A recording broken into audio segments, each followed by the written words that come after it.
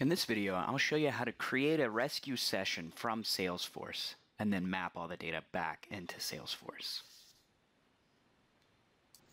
More information about the LogMeIn Rescue integration with Salesforce, including instructions, can be found at the LogMeIn Rescue website by clicking on the integration link. You can find details about all of our integrations, including Salesforce, by clicking on the corresponding link.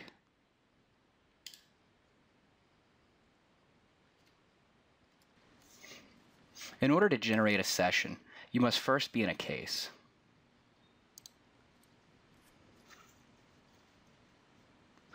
Once inside the case, scroll down to the case detail area. From here, the administrators of your Salesforce instance will have entered in one of two rescue pin code buttons. You have two options, a default pin code pull button that just simply creates a pin code. The second option actually pulls data from Salesforce cases into the LogMeIn Rescue session. This is customizable based on your needs.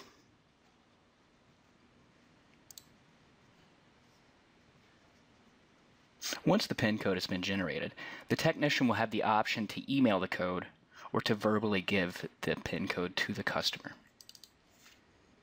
In this instance, I'm going to initiate the session on the same computer that I'm actually creating it from. This way I can illustrate both the customer side as well as the technician side of the interaction. At this point, the customer is going to go to a PIN code entry portal. This can be one supplied by LogMeIn or one that you host on your own portal. The customer will enter the PIN code in, click Start Download, and they will be prompted for an exe download. They can save this download and then execute it.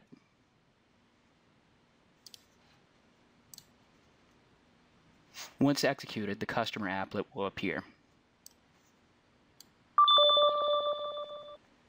Now they have a connection to the technician.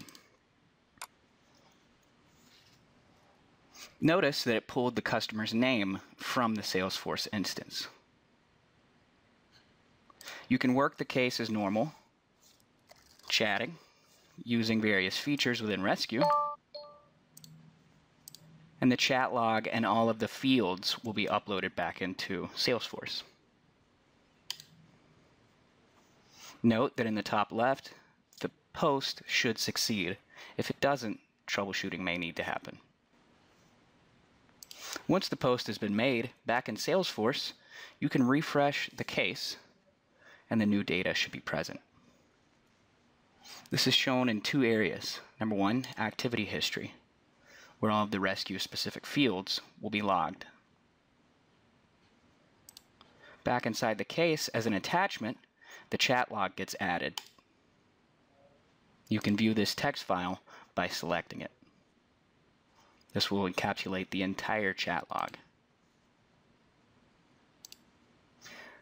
There are also optional settings to change how this performs such as writing a chat to a field, and so on. As discussed earlier, more information can be found on the Rescue Integration portal by selecting the Salesforce.com logo.